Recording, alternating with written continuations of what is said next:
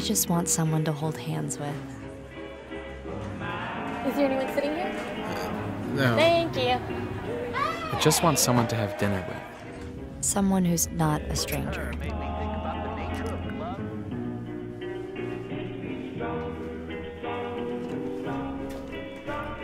I have stuff. Someone who's my friend.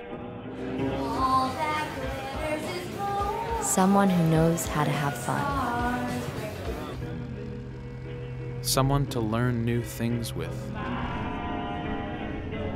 Someone to get coffee with before work.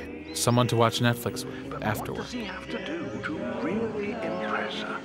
Someone to zip me up. Someone to teach me. Someone to inspire me. Someone to push me.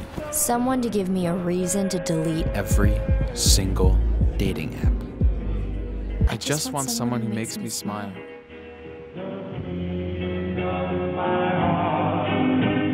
Five ten or taller. C cup. Minimum.